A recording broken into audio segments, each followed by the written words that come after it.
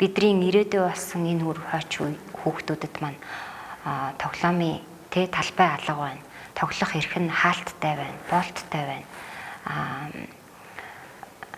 дээрэс нь зөвхөн энэ хүүхдүүдийн тоглох талбайнаас болоод хүүхдүүд маань хүртэл одоо эндэх, осолдох тийм ээ аюултай байдалтай болцсон юм байна гэдгийг хүртэл өнөөдөр л анзаарч байна л да. Мэдээж хамгийн дөрөнд хүүхд толгон тоглох хэрэгтэй. Тэр эрхийн төрөөс хамгийн нэн төрөнд бүрдүүлж өгөх шаардлагатай гэж боддог.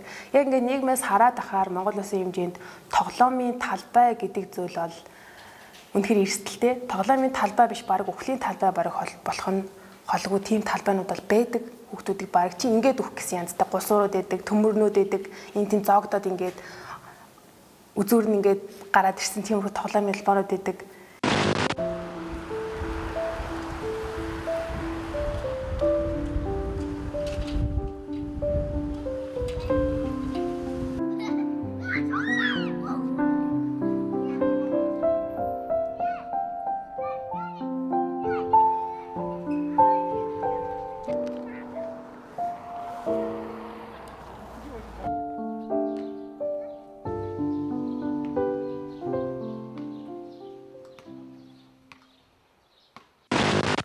Ер нь тоглохгүй байхаар нэг угаасаа дотроос амар их энерги зарцуул тэрийг гадагшлуулах шаардлагатай болохоор ингээл ер нь сая бас ковидын үед ингээл анзаархад орд ирэн дээр өсрөн харайн тэгээд тэр энерги гаргаж гадагшлуулахгүй болохоор яг айгүй амар ууртай болдог юм билэ тэгэл бид эд чинь за хүүхдтэй цаг гаргах хэвээр хүүхдтэй одоо хичээлийн хийлгэх ёстой гэж тэгэнгүүт за анхаарал төвлөрөл бол өсрэл жоохон хүүхдийнхний 30 минут байгаа байхгүй. Тэгэл 30 минут хамт хичээлийн хийн эсвэл номын будна за тэр тэрэнд нь ингээ хамтдаа цагийг өнгөрүүлж байгаа нь. Тэгэл бид нар өөрсдөө бас дандаа хажууд нь хамт байж чадахгүй болохоор за за гэл ер нь бол утсаа өгч тоглуулах тэгэл тэрнээс үүдэл дэлгэцэн амааралтай болох ийм асуудлууд ер нь бол айгүй их гарч байгаа. Тэгээд дэлгэцийн хит хамааралтай болсноос одоо ер нь орчин үеийн хүүхдүүд ингээд айгүй ментал оюуны одоо нэг тэр сэтгэл зүгээ айгүй зөв зохицуулж чадахгүй, удирдах чадахгүй тийм байдалд орж байгаа юм л би ч гэсэн өөрийнхөө хүүхдээс анзаардаг л та тэгэнгүүт за чи одоо дахиж утас үзэхгүй шүү гэсэн ирнээсээ л яалтчгүй тэгэл өгөөл байгаа байхгүй. Тэгээд энийг бас эцэг эхчүүд бид өөрсдөө сайн зохицуулж бас яаж хүүхдээ одоо тэр энергийн зөв гадагшлуулах уу гэдэг дээр анхаарах хэрэгтэй бодгол асуудал юм байна гэж боддог. Би бол анзаарч яхад манай охин коронагийн үеэр бол ерөөсө гараагүй. Тэгэл ингээд гэртээ байж хата ер нь бол амар тийм сэтгэл зүйн хувьд бол айгүй өөрчлөлт орд юм байлээ. Тэгээд ингээд юмд айгүй тийм уурлахааргүй юм төртөл хурдан уурладаг ч юм уу бухимдаад ингээд яагаад гэдэг. Аа тэгээд ингээд тоглохоо болчхоор зэрэг ингээд нийгэмшгүй тэр хүүхэд нөгөө нэг урд нь яг нэг бага насндаас нэг арай нэг корона энэ байгаагүй болохоор зэрэг ингээд хүүхдүүдтэй тоглоод тий ингээд одоо өөрийнхөө дотроо байгаа стрессийг тэр тоглоомоо тоглож байхдаа гаргадаг юм байна л та. Аа тэгээд ирэхээр тоглохоо болоод 20-нд ороод ингээд ирэхлээр зэрэг хүүхд амир тийм бухимдуу сэтгэл нь юм дарамттай тийм ууртай болчдөг юм байлээ.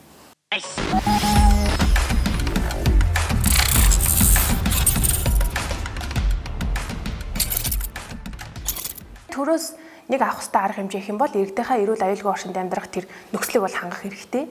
Хамгийн түрүүнд хүүхдүүдийн тэр аюулгүй орчныг хангах хэрэгтэй. Хэрэг зөрчигдвөл тэрнийхээ дагуу хариуцлага хүлээдэг байх хэрэгтэй байхгүй.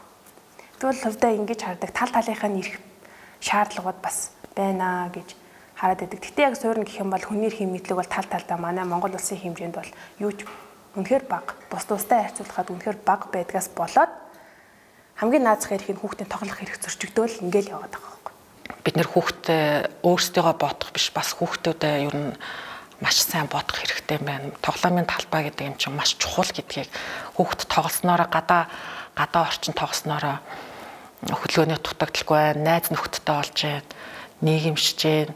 Тэр тэгснээрээ ер нь хүүхдэд маш давуу талтай хүүхдийн хүмүүжил бас маш их нөлөө сайн нөлөөтэй тоглоомын талбайн стандарт бол айгүй олон дүрм журамтай олон стандарттай байт юм лээ. Тэрийг бол бас нэг талаасаа төрөөс одоо ийм стандарт бэйдэ шүү гэдгийг иргэдэд олон нийтэд ингээд сурталчлан таниулах тэр ажлыг хийх хэрэгтэй болоо гэж тогтсон. Тийм ажлаа хийдэггүй учраас иргэд ийм стандарт байдаг гэдгийг ч мэдэхгүй, стандарт байдаг гэдгийг мэддэггүй болохоор одоо шийдвэр гаргагчдаас шаарддаггүй, шаардлага тавьдаггүй ийм асуудал ер нь бол шашаатандаа л асуудлууд байд юм байна гэж үзсэн. Одоо тэр тоглоомын талбай стандарт одоо хангаж байгаа газрууд маш зөвхөн байгаа гэдэг шүү. Тэгэхээр стандартыг одоо альва хууль дүрм журмыг бол бид нар тэр хууль дүрм журмыг одоо биелүүлэх гэж л одоо тэр стандарт дүрм журмууд гарч байгаа ш. Тэгэхээр бид нэр тэр гарч байгаа дүрм журмынхаа дагуу тоглоомын талбайгаа одоо э, хийгээд дээрэс нь бид нар одоо энэ тэнд ингээ хөдөө хөдөө явж хахад одоо амралт сувлын газар хүртэл те тоглоомын талбай нь бүр бас хүүхдэд маш ээлтэй бас тийм стандартын дагуу тийм тоглоомын талбайтай байх хэрэгтэй юм болоо гэж хэлсэн. Тэгэхээр нөгөө одоо одоо тэр совлол амралтын газрууд энэ чи яг бас бас л тоглоомын талбай бас л ховор штэ. Тэгэл байгаа нь ганцхан л ганцхан л нэг гол суур байдаг. Тэрэн дээр чин тэгэл дүнжил нэг 5 хүртэл насны хүүхдүүд тоглолчихно. Тэгээ 5-аас дээш насны хүүхдүүд нь одоо юу гаж тоглох юм.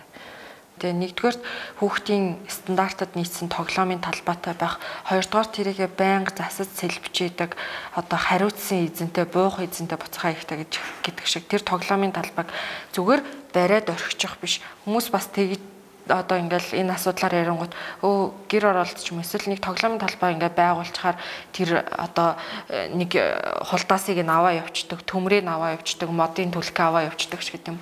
Тэгэнгүүт тэрийг эргээд бас нөгөө нэг хариуцуулах эзэнтэй болгож тэрийг нэг бас зохицуулах тийм бодлогын зохицуултын юм л хийх шаардлагатай байх л та. Тэгэхгүй зүгээр нэг тоглоомын талбай барайл орхичдаг. Тэрийг засаж сэлбэхгүй, хариуцсан эзэн байхгүй ингээд орхичхоор бас тийм асуудлууд гарах нь гарах нь л тодорхой байх тийм. Ер нь бол хүүхэд чи өөрөө цаанаас нэг юм шатаах ёстой гэлгээд тэр нь өөрөө цаанаас ингэж байгаа ч нэг өрөвний өчиг гэдэг идэв шүү хүүхдүүдийг. Гэл хөрөнгө өндлцөө гэтэл тэр чи угаасаа хүүхэд өөрөө тэр биеийн дотоод ирчээ тий шатаах дээрээс нь хоримтлагдчихж байгаа тэр стресс өөрийнхөө одоо би тэр гүйж болох уу? Хөдлөхгүй хүүхд суугаал гэвэл тэр чи унж сурахгүй шүү унд сурч юм чи өвдөд сурахгүй. Өвдөд сураагүй бол найз нөхдөд туслахгүй ч гээл. Ер нь манай монголчууд хүүхдэд айгүй харгас шүү дээ. Тэрийг та нар анзаардгүй. Ер нь хүүхдийг ер нь хүн гэж ерөөс үздэггүй байхгүй. Одоо ингээд бид нэг хилдэг үгээ батах юм бол хүүхдээ ингээд өө нэг юм дайснаа дарлаа гэдэг те. Айсгуул энэ ёстой чөтгөр шиг гэж хэлдэг те. Айсгуул энэ өрөмний өвт шиг гэж хэлдэг. Хизээж хүүхдийг бид нар ингээд нөгөө ер нь ингээд яг хайрлах ёсоор хизээж хайрладаг байхгүй. Одоо өнөөдөр Улаанбаатарын гудамжинд явж байгаа автомашинууд дотор хүүхдээ яаж тээвэрлээд явж байгааг харах юм бол монголчууд ингээд хүүхдтэй яаж хэрхэн яаж зүгээр ачаа бараанаас ч илүү харгас ханддгийг бид нар харж болно. Ингээ анзаарах юм. Тэг хүүхдийн төлөө юу хийж байгаа ингээд харахаар юу ч хийгээгүй байгааг ингээ харах юм бол монголчууд хүүхдэд айгүй харгас штэ. Хүүхд хүн гэж тоодгоо. Харгас гэдгийг мэддэггүй юм шүү. Харгасж юу гэдэг юм? Тий, магадгүй тий. Магадгүй. Би 2019 онд ингээд хүүхдийн тоглоомын талбай бол тамхигүй орчин байх хэрэгтэй гэдэг айгүйх тэмцэж гүйж үтсэн л тээ. Яагаад гэвэл тэр үед би яг нөгөө жирэмсэн байсан байхгүй.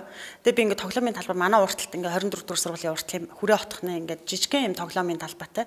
Тэгээ тэнд нь би ингээд нөгөө амар том гиздэд гэрте байхаар ингээд нөгөө дотор тавьчтаад болтгоо. Тэгэхээр гараа тоглоомын талбай суучин хажуудалд хүн ирж ирээд ингээд тамхи татаадсан байхгүй. Тэгээ та ингээ бити тамхи татаач гэсэн чи чамд ямар хамаатай ингээ гэсэн байхгүй. Тэсийн чи хүүхдүүд тоглоод гүйж байгаа тий. Тэгээ тэд нарыг чи ингээ дам тамхиталтанд өртүүлээд штэ. Тэгээ тэгээ тэр хүнтэй би хэрэлдэх бол энэ эргэн хоорондын хэрүүлийн асуудал бол энэ биш байгаа байхгүй. Тэгээ энийг яагаад шийддэггүй ингээд ингээд би ингээ хөөж ингээ явсараад үтсэн чинь яг 2019 онд тийм хүүхдийн тоглоомын талбайн стандарт гэж анх удаа Монголд гарсан байгаа байхгүй юу? Тэгээ тэр стандартыг би ингээд авах гээд интернетээс хайх гэсэн чинь болохгүй чи заавал стандарт хэмжилзүүн төв газар хурж ирж тэрийг худалдаж авах хэрэгтэй өөрийн биеэр гээд. Тэгээ би 7 хоногийн дараа төрөх гэж ийж нөгөө стандартыг гүйж очиж хүнээр төшүүлж очиж авч нөгөө стандартыг нь худалдаж авч харж исэн байхгүй Тэгээд тэн дээр ингээд уул ингээд байгаа. Одоо хэрвээ бид нар хүүхдийн тоглоомын талбайтай байна гэж үзэх юм бол тоглоомын талбай маань өөрөө заавал анхааруулах юм тэмдэг тэмдэглэгээтэй байх хэвээр, самбартай байх хэвээр. Тэгээд гадаадын хүүхдийн тоглоомын талбайнууд ч гэсэн тийм л талбай юу тэмдэглэгээтэй байд юм билэ. Тэнд нь одоо арх уухыг хориглон, тамхи татахыг хориглон. Одоо яагаад түгжээд байгаа юм те? Яагаад түгжээд байгаа юм гэвэл тийш чинь хүмүүс ороод арх уугаа тамхи татчихдаг байхгүй юу? Тэгэхээр уулын тэр чинь стандартынхаа дагуу ингээд ийм ийм зүйлийг хийж болохгүй. Хийвэл одоо торгоноо зөрчлийн тухай хуулийн дээр бэлэн байгаа байхгүй юу? Тэгэхээр тэрийг хэрэгжүүлдэг үү? Тэр стандартыг хэрэгжүүлдэг үү? Яагаад гэвэл тийм стандарт байдгийг ч мэддэг үү? А мэдлэг хэд заавал очиж авах шаардлага гардаг учраас очиж очиж авдаггүй. Гих мэтэр ингээд бид нар ерөөс ингээд хэрэгжүүлдэг үл юм л да. Юм юм бэ лээ. Ядтаа тоглоомыг нь. Тоглоомын талбайг ил байлгах хэрэгтэй байхгүй юу уулын тий? Тоглоомын талбай дээр бас тэр одоо ингээд хөлөнд төсгөө ингээд сууж ийн гэдэгтэй адилхан. Би сая баяуулгын юмд байхад хүүхдтэй түрээд явж байгаа юм хүүхдэд салхилуулж байгаа эмэгтэй хүнийг харсангүй. Аа настай хүмүүс гадаа байхыг бас харсангүй л дээ.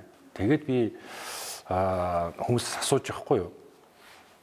Яагаад ийм байгаа юм бэ гэж нэр тийм биш дээ яагаад юм бол гэж байхгүй юу? Аа тэгээд нэг нэвтрүүлэгт орсны хүүхэд 10 настай нэг хүү ярьж байгаа байхгүй юу? Аа чамаа гадаа гарахад чинь өвөө юм уу имээч авч гардаг өвөө авч гардаг гинэ. Тэг яа гэж чинь Тэг өө чи яаж чих гэхээр нэг харахад башналаа зогсч идгийг ядарсан байлгүй шатан дээр суугаал идгийг миний өвөө намайг гадаа салхилт намайг тоглож яхад суух сандал авахгүй ч байгаа юм.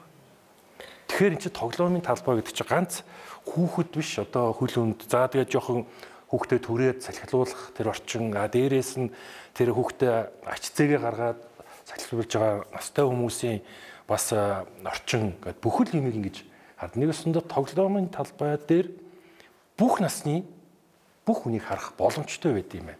А тэгжиж нөгөө нийгэмшдэг.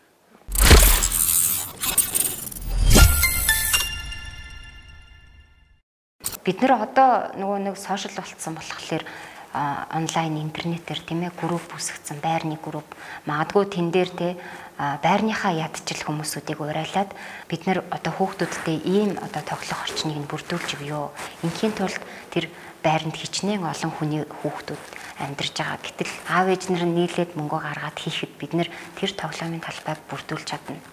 А тийм болохоор заавал хин нэг одоо эрх мэдэлтнийг хүлээхгүйгээр бид нар өөрсдөө эхлээд тэ тэр асуудлаар дэвшүүлээд тэрнийхээ төлөө ямар нэгэн зүйлийг хийгээд тэр тоглоомын талбайг нь бүрдүүлээ түүхдүүдийн аюулгүй байдлыг хянаад явах бүрэн бололцоотой гэж хардаг. Тэр стандартыг одоо хамгийн минимум төвшөнд те дороо иж одоо ийм ийм зүйл байх ёстой гэдэг дээр одоо яг хамгийн над зах нь одоо жишээлбэл тэр хүүхдийн тоглоомын талбайгаас хогийн цэг 100 м-ийн зайд байрлах ёстой гэсэн жишг байгаа бол тэр жишгээ барьсан одоо тоглоомын талбай Монголд хэд байдیں۔ Тэ байрны хогийн цэгүүд хэдэн метрийн зайд байдیں۔ Хүүхдийн тоглоомын талбай хэд байдیں۔ 7 хоногт хэдэн удаа хогоо ачиж ачтیں۔ Хог ачих болгонд тэнцээ гялгарууд ингээд нойлын цаас ингээд хөглөрөөд хүүхдийн тоглоомын талбайд байж ах хэвээр юм уу ч гэдэм. Тийм шүү дээ. Бид нар одоо яг энэ энэ асуудлаар бол бид нар бүр хөндөж ярихаас өөр аргагүй болчиход байгаа хөөхгүй. Тэгэхээр бид нар яг энэ одоо нэвтрүүлгийг үзэж байгаа хүн болгон мэдээж хэрэг аав ээж нар нэлээ их үзэж байгаа. Тэгэхээр миний хүүхдийн эрхэн зөрчигдөж гинөө, тоглох эрхэн зөрчигдөж гинөө. Миний хүүхэд яг ямар орчинд тоглож гин? Би хүүхдээ тоглуулж чадж гинөө? Би хүүхдээ тоглуулад тоглууснараа би хүүхдээ ингээд яг хайрлж гин гэдгийг хайрлж гин үү гэдгийг өөрөө өөр өөртөөс асуугаад тэгээд энэ дээр дүгнэлт хийгээд тэр сошиал сошиал одоо инфлюенсерүүд гэдэг тэд нар ч гэсэн яг энэ талаар дураасаа гэж би бодож байна. Ямар ч хэрэггүй юмн дээр л давлгаалал гэдэг яг хэрэгтэй юм дээр бол бид нар яг дуурах хэрэгтэй. Тэхэм ертөнц гэдэг зүйлээр бас бид нар үзэл бодлоо илэрхийлэх бас боломж илүү нээлттэй байгаа болоо. Яг энийгээ бид зөв ингээ ашиглаж чадах юм бол бас нөгөө төрд бас нөлөөлөх бидний нэгдэж байгаа тэр байдал төрд бас нөлөөлөх боломж байна. Тийм болохоор нөгөө тулгамж байгаа асуудлуудаа бүгдээрээ нэгдээ захимаараа ч гэсэн ингээ илэрхийлээд нэгнийгээ дэмжиад тэр тулгамж байгаа асуудлаа шийдээд яваадах боломж бас байгаа гэж би хувьдаас харж байгаа.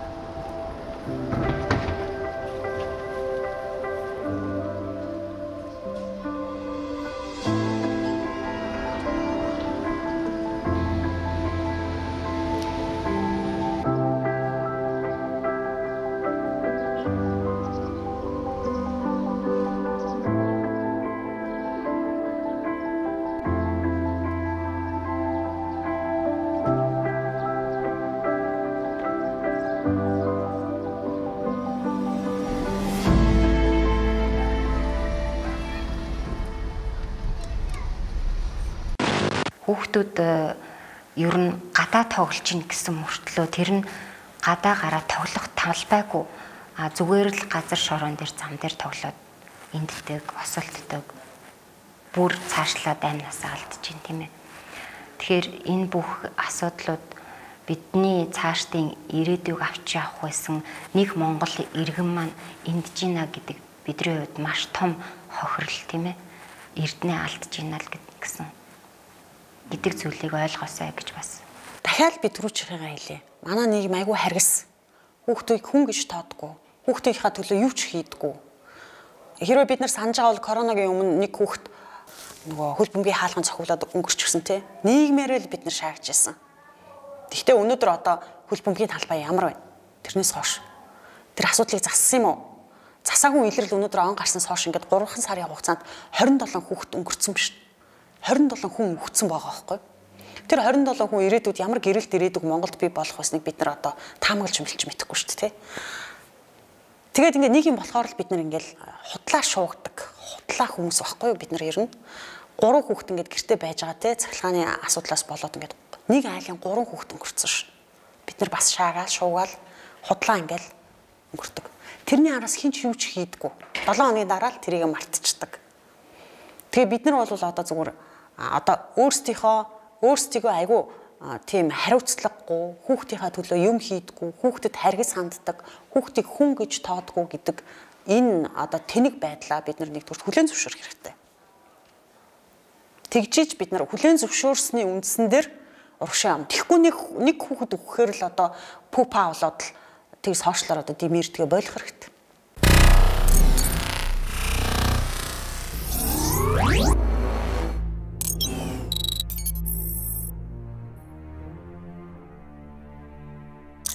Бүдүүн орон нутгийн эсвэл гэр хороолд амьдардаг хүүхдүүдийн тоглох орчин бол үнэндээ хомсоос гадна бүр үнэхээр тэрийг авч хилцэж байгаа хүмүүс бол байдаггүй тийм ээ. Би ч 2 3 аймгийн ингээд засаг дарагт уулзаад энэ нэвтрүүлгээ хийж хахад ингээд тайлбарлахаар гайхаад байгаа байхгүй нэрээ тийм юм биш гэж. Тэднээс өөрсдөө хүүхдийн тоглох хэрэг гэж ойлголт байхгүй. Тоглоомын талбай гэхээр бүр гайхаад тусан ингээд яг нэрээ тийм биш гэдэг. Тэгвэл Баян Улгийн аймгийн засаг дарга бүр хоёр тоглоомын талбай барих гэж байгаа байхгүй юу? Ойлголоо. Аа Дорноговийнхан бол 5 тоглоомын талбай. Дорногов бол маш их тоглоомын талбайтай сайн. Замын үд дээр байхгүй учраас байрыг гэж. Тэр нөгөө бодлого залуусын яналт гэдэг төрийн бас байгууллага байдаг байхгүй юу? Тэрэн дээр тэр бодлого залуусын яналт гэдэг төрийн бас байгууллагын дэргэд байдаг нэг залуусын давлгаа гэдэг нэг клуб байна. Тэр болохоор гэр хороолт байдаг залуучуудын одоо ийм клуб байхгүй. Тэгээ тэд нар яах юм гэхээр одоо нөгөө Google Map буюу тэг газрын зургийг ашиглаад манай энэ хавьд юу дутуу байна гэдгийг тодорхойлоод тэгээд тэр дутуу байгаа зүйлээ одоо тэр дүүргийнхаа засаг дараагаас хорооныхаа засаг дараагаас одоо хүсэлт тавиад тэрийг бас шийдвүүлж чадж байгаа юм сайн жишээ байгаа. Тэр хүмүүстэй уулзсан. Иргэний нийгмийн хүчлэн тий. Тийм чихрэлэн тэр залуучуудын гаргасан тэр газрын зургийн аргачлалаар харахаар Улаанбаатар хотын номын сан гэдэгэд зөвхөн одоо хотын төвийг тойрсон 2 км-ийн радиуст л номын сангууд байгаа байхгүй юу? Кино театр гэсэн зөвхөн хотын төвийг тойрсон 5 км-ийн радиуст л кино театрууд байгаа байхгүй юу? Тэгэхээр тэрийг бид нар анзаарахгүй те бид нар тэрийг өдөр тутам эргэлдэггүй учраас анзаарахгүй. А гэтэл тэр чи яаж юм гэхээр нөгөө залуучууд чинь нөгөө хүүхдүүд чинь өөрсдөө ингээд нөгөө орчин үеийнхаа тэр Google Map запийнхаа аргаар гаргаад байгаа байхгүй. Тэгээ манай нөгөө нэвтрүүлэл ордог хүүхдүүд бас тэгж байгаа байхгүй юу? Өвөл нөгөө мөсөн голгуурын талбай дээр тоглохын тулд бүр 100 мянгатаас ингэж 15 дугаар харуулмаар бол явж байгаа байхгүй тоглохын тулд явж байгаа гэж байгаа байхгүй.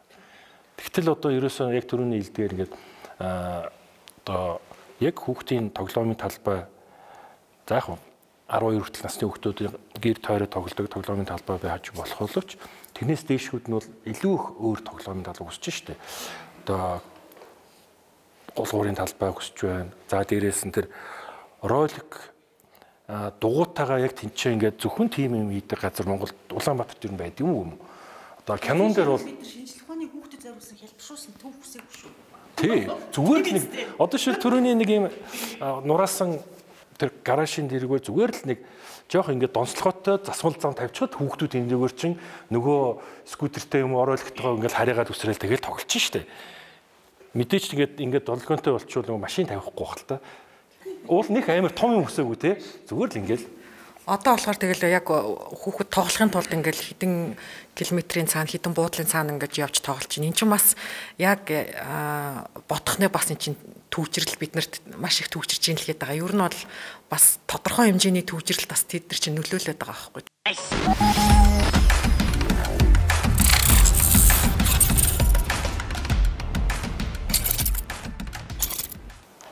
За орон сууцны хүмүүс бол тоглоомын талбай талбай хувьд бол байгаа. Гэхдээ ер нь бол бас яг юм чухал нөгөө нэг хэрэгцээтэй маш сайн тоглоомын талбай ер нь ховор. А тэрнээс илүүтэй яг энэ гэр оролт амьдарч байгаа хүмүүсийг харахад бол бас маш хэцүү, маш өрөвдөлттэй санагддаг. Тэгээд тэр хүмүүс чинь одоо ингээл харж байхад яг зам дагуу нөгөө тоглоомын талбай нь хамгийн амар нь эмгэнэлтэй яг зам давхад байж байгаа байхгүй юу. Тэгэхээр чин тэр хүүхэд мэдээж хэрэг хүүхэд л юм чин гүүн, харайн хоорондоо хөөцөлдөж тоглоно. Тэр дундаас тэгэрч тоглоомоос болж маш хүүхэд эрсдэх нөгөө магадлал бол маш өндөртэй. Тэгэхээр яг энэ хорооны засаг дараах одоо бүх хүмүүсийн иргэдийн оролцоотойгоор энэ тоглоомын талбай гэдэг юмыг сайн шийдэж өгөх хэрэгтэй болоо гэж бодож байна. Одоо тэгэл яаж штэ хүүхэд хүүхэд ерөөсө тоглохын тулд одоо манай манайх ч одоо энэ 16 улаан хооронд байдаг. Тэгэхэд манай хүүхэд канкега мөсөн дээр өвөл канкегаар тоглохын тулд хаа байсан бүр 120 лоо явж тоглоо. Тэр хооронд хичнээн цаг алдах байлээ тий. Тэгээд тэр дунд ч хүүхэд бас янз янзын эрсдлөөш зөвхөн тоглох гэж явж байгаа автобусалд орох ч юм уу тий. Тэгэхээр энэ тоглоомын талбай гэдэг юм ерөөсө дүүрэг болгонд ерөөсө маш их барьцлах хэрэгтэй болов гэж бодож байна. Гэр оролт ч гэсэн хүүхдүүд чөлөө цагаа өнгөрүүлэх тоглоом талбай байхгүй шүү дээ. Одоо тэнд бол бас хамгийн эрсдэлтэй а орчин хүүхдэд хамгийн ээлгүй газрууд байгаа ш. Жишээ нь хашаанаасаа гараад хашааны гадаа машины зам байх жишээний одоо хүүхэд дугуугаа унж байгаа л машинаасаа одоо хашаанаасаа уруудаал гараад ирэхэд тэр хүүхэд дугуйтайгаа уруудаал явж хат машин зам руу орох эрсдэлтэй ч гэдэм эсвэл хашааных нь гадаа ингээ бороо орсон нөхцөлд ингээ шавартай байх ч юм. Тэгэхээр яг түрүүний хэлсэнчлэн хороо биш юм а гэхэд дүүрэг болгонд тоглоомын талбай байгуулж өгөөч гэж төр засгийнхнаас одоо хүсэхтэй адилхан. Тэр одоо гэр орооллын хүүхдүүдэд ч гэсэн хороо болгонд ядаж баг биш юм а гэхэд хороо болгонд нэг тийм тоглох тоглоомын цэгтэй чөлөө цагаа зүг боловсон өнгөрүүлэх тийм газартай ойр орчныхантайгаа танилцдаг. Тэр одоо хүү олон бүгдээрээ хоорондоо ярилцдаг хүүхдүүд нь найзууд болдог тийм орчинг бий болгоосай л гэж бодож байна.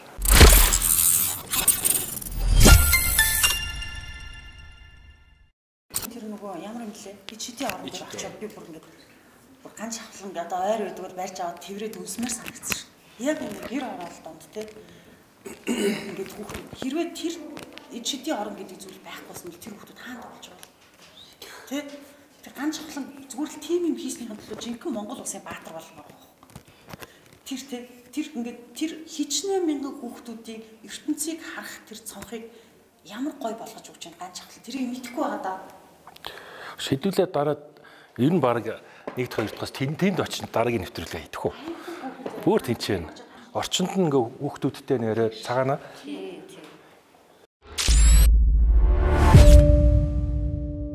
Улаастай эцэст очсон баггүй. Тэгээ тэнд хоёр л том байшин байна. Нэг нь цагдаагийн байшин байна. Тэ тэр их амар юм. Нөгөөх нь ганц хавлангийн ичидийн орон байна. Тэр ичидийн орон үнэхээр ичидийн орон. Тэр ичидийн орон тэнд байхгүй бол тэр гэр хорооллын хүмүүс хаана тоглох вэ?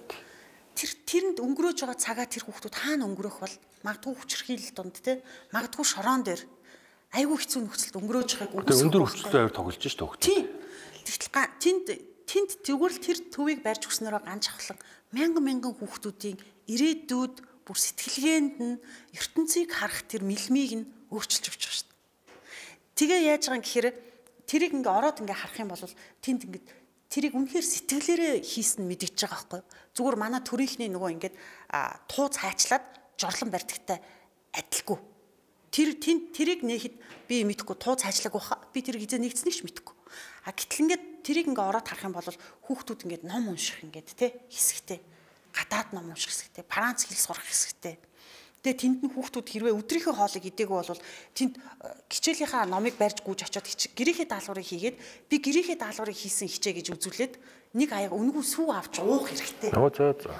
Урамшуул шүү дээ тийм. Тэгээд тэр гэр хороолд байгаа тэр ээжүүдийг залуу ээж нарыг те ээж байх тэр зүйлд сургадаг юм сургалтын төвтэй танхимтай. Тэнд ээжүүдийг сургаж байна.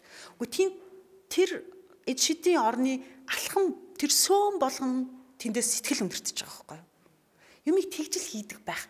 Тэгээ би зүгээр тэрнийхэн төлөө бүр ганц авхлан бүр ингээд хайрламар одоо ганц авхлан ингээд амар ингээд нөгөө нийгэмд ингээд эсрүүцэл бухимдал юм бичээд байхгүй юу? Тэ?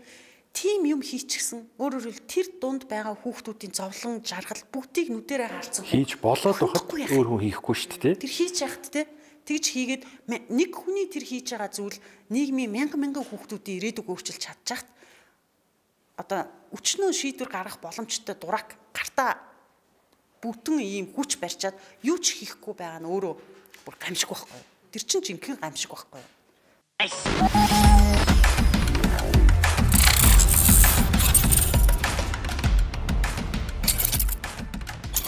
бүх насны нэлхват нойтон одоо тий 10 настай 18 настай бүх насны хүүхдүүд тоглодог учраас тэр одоо хүүхдүүдэд бүгдээрэнд нь тохирсон тийм тоглоомын талбай байхгүй байгаа нь тэгэхээр харамсалтай. Тэгэхээр бид нэр өөрсдөө шахаж шаардаж те хүүхдүүдийнхаа төлөө энэ хүүхдүүд маань хамгийн за бүр үнэхээр те хүүхдүүдтэй олж арж анзаарахгүй байгаамаа гэхэд хизээ нэгэн цагт бид миний хүүхэд магадгүй эдгээр хүүхдүүчиг байвал яах вэ гэдэг зүйлийг яг тэр дунд нь очиж үзэж өөрөө тэр хүүхдүүдийн дунд ингээд ороод тоглоод ингээд тоглохгүй маа гэд хараад тийм ээ дунд нь яг орох орох юм бол мэдэх болов гэж би бодож байна.